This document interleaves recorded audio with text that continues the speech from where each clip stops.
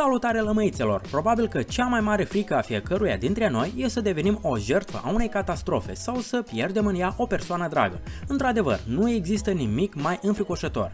Totuși, nu trebuie să uităm că și în aceste cazuri, tehnologiile moderne utilizate în medicină pot face un miracol. Uneori, persoanele devin mai fericite după tragedie, iar câteodată și mai talentate. Astăzi o să vă povestim despre 8 cazuri în urma cărora oamenii au obținut abilități deosebite, după ce au fost afectați de un incident neplăcut. Așa că așezați-vă mai comod, pregătiți-vă un ceai cu lămâie, stoarceți butonașul de like și să începem!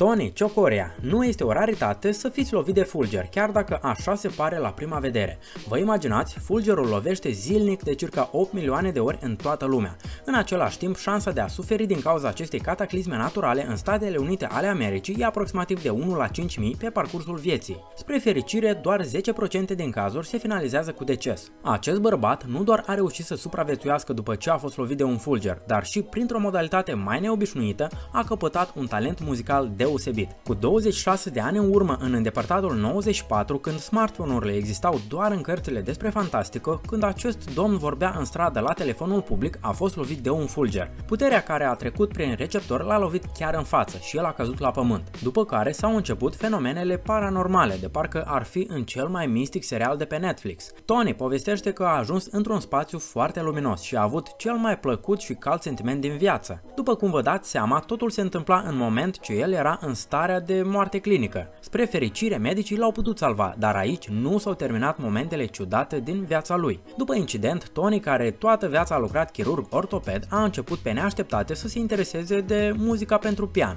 chiar dacă el mereu a fost omul științei și niciodată nu a fost interesat de creativitate. După, el a visat cum evoluează pe scenă. Printr-o minune, a reținut melodia magică din somn, s-a așezat la pian și a interpretat-o din prima, fără a cunoaște vreo notă. Mai târziu, desigur că a învățat totul ca la carte, toate subtilitățile teoriei muzicii. La moment, el călătorește și evoluează în lume, atât cu orchestra cât și singur. Tony interpretează melodiile compozitorilor clasici, dar și pe ale sale. Desigur că și melodia pe care a visat-o atunci, sonata Fulgerului.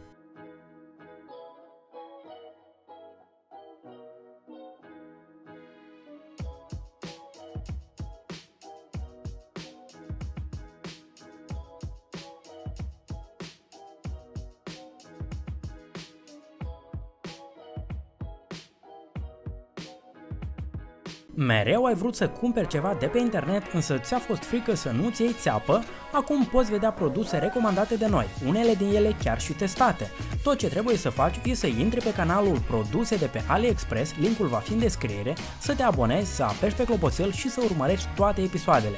Iar dacă ți-a plăcut vreun produs, intră în descriere și găsește linkul de unde îl poți cumpăra. În scurt timp vom organiza diferite concursuri interesante pentru cei mai fideli abonați. Nu rata șansa să fii tu unul dintre câștigători.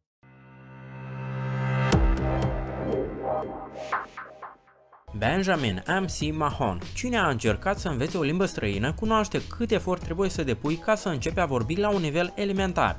Să nu mai spunem de limbile din Orient care necesită mai mult timp și străduință. Spre exemplu, ați știut că limba chineză are mai mult de 50.000 de ieroglife. Pentru a vorbi ușor în mandarina, cel mai răspândit dialect chinez, acest băiat din Australia nu a fost nevoit să învețe ani la rând. Odată, un băiat pe nume Ben a fost implicat într-un accident rutier, după care care s-a aflat în comă o săptămână întreagă. Când s-a trezit, s-a adeverit că unica limbă în care poate vorbi e cea chineză. În același timp, Ben menționează că el a învățat la școală limba chineză, dar nu într-atât ca să poată vorbi liber. Cum se explică acest fapt? Se consideră că zona creierului care răspunde de cunoașterea limbilor străine este amplasată în zona frontală a emisferei din stânga. Presupunem că anume această parte a creierului lui Ben a fost afectată. Cu timpul, el și-a reamintit limba engleză și a început să se îngrijoreze că o va uita pe cea chineză. Și aici s-a întâmplat ceva magnific. El a continuat să discute în ambele limbi precum ele ar fi native. La moment, el prezintă propriul show în chineză și lucrează cu turiștii chinezi.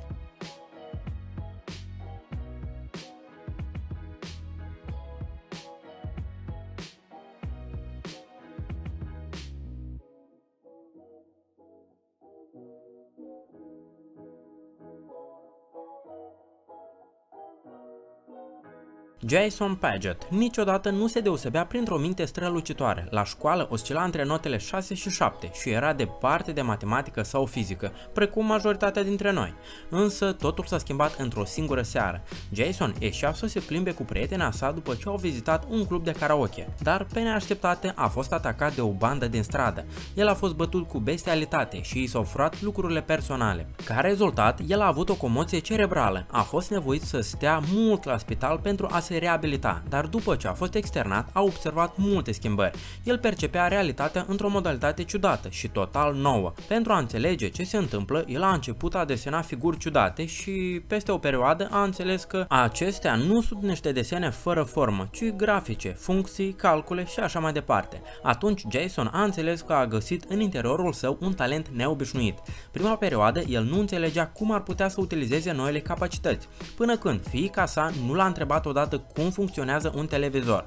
Atunci Jason s-a gândit, ce ar fi dacă ceea ce îmi apare în minte e explicația anumitor lucruri din univers. După cum s-a adeverit, e chiar așa. După cuvintele microbiologului, ceea ce s-a întâmplat cu Jason poate fi explicat. Când a avut loc o lovitură, s-a produs o reacție a creierului și ca rezultat a traumei, acest organ a oferit o hipercompensare în acele sfere, care răspund de abilități și imagini mentale. Acest fenomen se numește sindromul savantului și îl întâlnim foarte rar.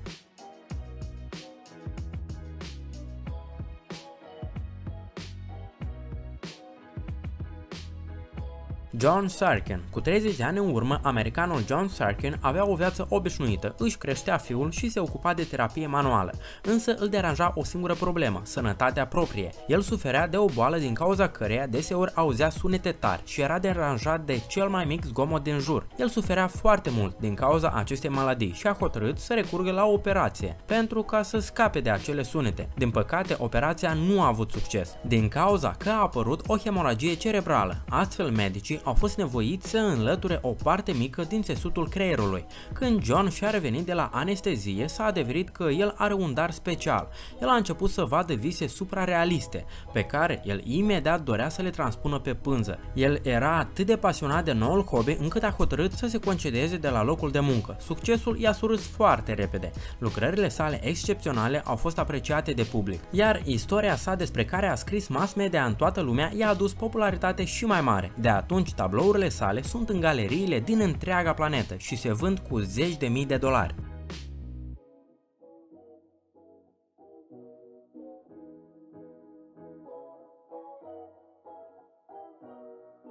Alonso Clemons. Când Alonso era copil și învăța la școală, a suferit o traumă cerebrală complicată. De la început părea că el nu va supraviețui. El nu știa să citească, să scrie, să calculeze, iar IQ-ul său nu era mai mare de 40-50 de puncte.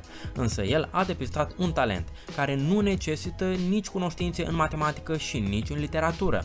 Se părea că Alonso s-a transformat într-un sculptor de succes. De la început, el făcea animăluțe pe ultima bancă în timpul lecțiilor. După școală, el a hotărât să își transforme hobby-ul în profesie. Ca rezultat, tot ceea ce făcea a ajuns la un nivel foarte înalt și astăzi el poate sculpta figura oricărui animal în câteva ore, văzând imaginea o singură dată. Apropo, cazul său la fel este clasificat de medici ca sindromul savantului, căpătat cu timpul.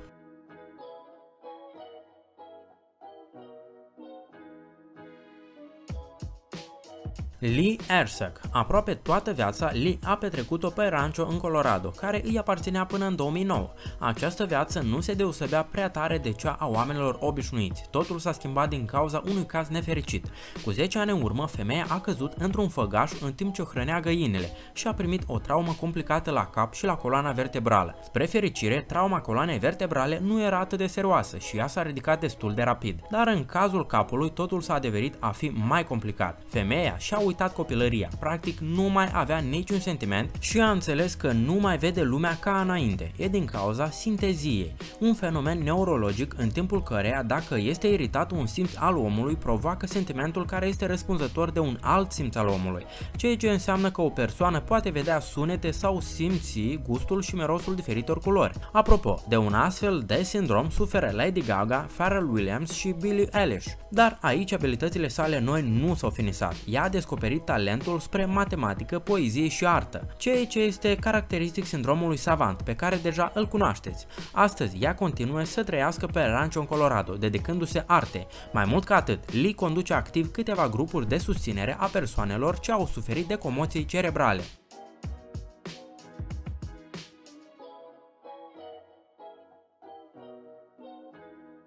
Derek Amato. Iată istoria încă a unui băiat care s-a întâmplat cu 13 ani în urmă și i-a deschis calea spre jazzul profesionist. Pe 27 octombrie 2006, Derek se odihnea la bazin împreună cu prietenii săi, jucând fotbal și făcând barbecue. Totul era ideal, însă într-un moment dat, el a căzut în apă și s-a lovit tare la cap.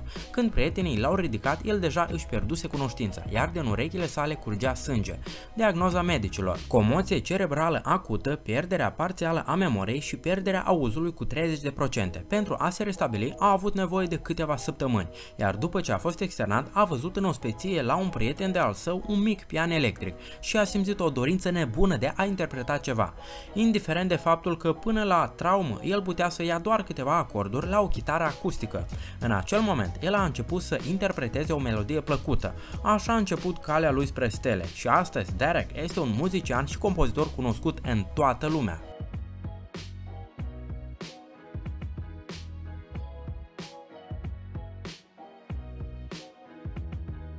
Rory Curtis. Până în 2014, Curtis era un tip obișnuit, un britanic sănătos. Viața se învârtea în jurul hobby-ului preferat, care era fotbalul, dar odată el a făcut un accident cu automobilul. El s-a ciocnit într-un camion mare, atât de tare încât salvatorii nu îl puteau scoate din automobilul deformat mai mult de jumătate de oră. După ce a fost două săptămâni în comă, bărbatul de 22 de ani s-a trezit în Birmingham, o persoană complet diferită. Rory, care studiase franceza doar în clasele primare, brusc a devenit francofon. El vorbea franceza atât de liber încât una din lucrătoarele spitalului chiar s-a interesat din ce țară el a venit. Doar că Rory și familia sa toată viața au locuit în Marea Britanie și nici nu au vizitat Franța. Aici istoria nu se finisează. Dintr-un motiv necunoscut, Rory credea că el este starul de la Hollywood, Matthew. El vorbea într-una despre rolul, filmări, contracte, doar din cauza că medicii britanici au hotărât să facă un experiment și i-au introdus un medicament medicament nou.